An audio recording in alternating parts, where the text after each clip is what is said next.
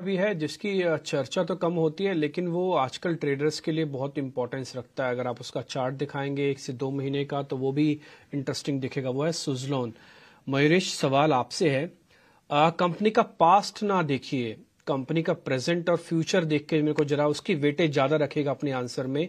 Past की weightage रखेंगे तो आंसर ही नहीं बनेगा। कंपनी 2000 करोड़ रुपए का एक क्यूआईपी लॉन्च कर रही है। वो ये कह रही है कि हम अपने डेट को उतारेंगे। मैं थोड़ी देर पहले उनका डेट चेक कर रहा था तो दो हज़ार करोड़ रुपए के आसपास का ही डेट है। अगर क्यूआईपी से पैसा जुटा लेते हैं डेट को उतारते हैं, और खबर ये भी है कि एफ़ और डी भी काफ़ी एग्रेसिव हैं उस शेयर के अंदर। और शेयर ने कल पाँच परसेंट का सर्किट भी लगाया है। तो एक बार आपका व्यू पॉइंट चाहिए। डिम्पी मॉर्निंग टू यू काफ़ी फ्लेवर में है।